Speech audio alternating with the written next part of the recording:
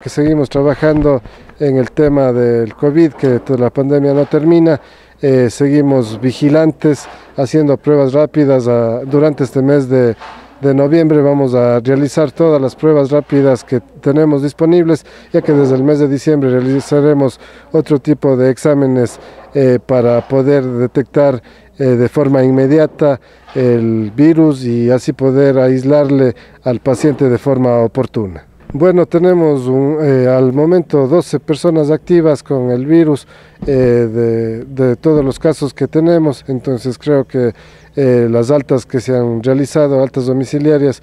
son la mayoría, no tenemos casos complicados, pero sí lamentablemente hemos tenido algunos algunas personas que han fallecido por el virus, es por ello que siempre llamamos a la concientización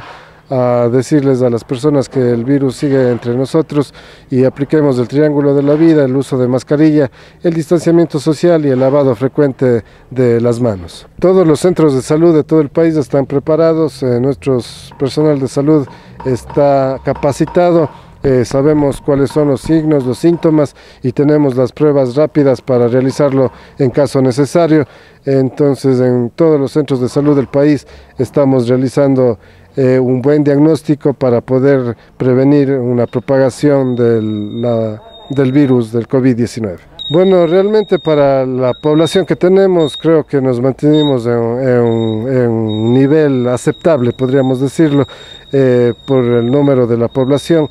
Eh, vemos que eh, además tenemos muchos casos recuperados, de los 80 ah, están recuperados 67, entonces es decir que prácticamente tenemos 12 casos activos, pensamos que iba a haber un alto más porcentaje de casos luego del feriado que tuvimos, pero vemos que los números no, no han subido y eso es muy alentador y además tenemos que seguir trabajando en un rápido diagnóstico y eso que esa es la clave para que eh, la persona que esté infectada se quede en su domicilio. hemos visto esto no solamente acá en el cantón, sino en todas partes del Ecuador y creo que del mundo, siempre la medicina privada, eh, creo que eh, siempre va a haber, ¿no es cierto? Entonces no toda la, gente se, se, viene a hacer atender en los centros de salud o en el hospital, sino además también tienen sus médicos privados que veo que también hacen un buen trabajo una vez que